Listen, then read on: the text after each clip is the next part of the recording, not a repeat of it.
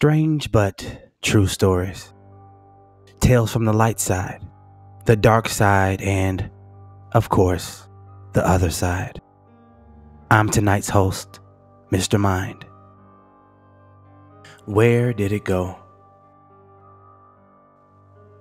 Driving home on a stormy day, I see that a side road up to the local golf course is blocked off by flashing barricades. I also see a Mercedes parked past the barricades with its hazards on. So I stop and walk up to the car to see if they need any help because I'm an EMT. I shine my light in the back seat to see a man slumped over, apparently sleep. Thinking I've got a few drunks, I move up to the driver window and tap on the glass and shine my light in. The driver is sitting completely upright, unmoving, staring straight ahead. My flashlight doesn't cause him to blink, flinch, or move. I look over, and the passenger is slumped forward into the dash. Now, this begins to creep me out so I call down to the sheriff's station and request a unit.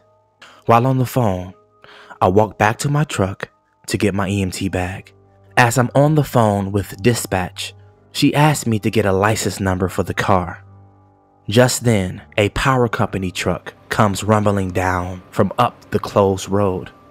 So I move to go around the truck to get the license number, and the car's gone.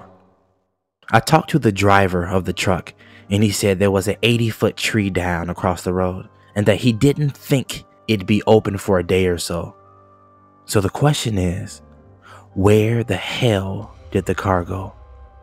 I mean, the car just vanished. No sound, no speeding off. It just vanished. Tree down the road one way, barricades down the other and this car just disappeared. This is impossible. To be honest with you, it kept me a bit unnerved and unsettled when stopping at accidents since then. This has been another strange but true story, narrated by your friend, Mr. Mind. If you have a story of your own, we would love to hear it. Please send us an email at strangebutTrueStories2 at gmail.com. Please comment, like, and subscribe.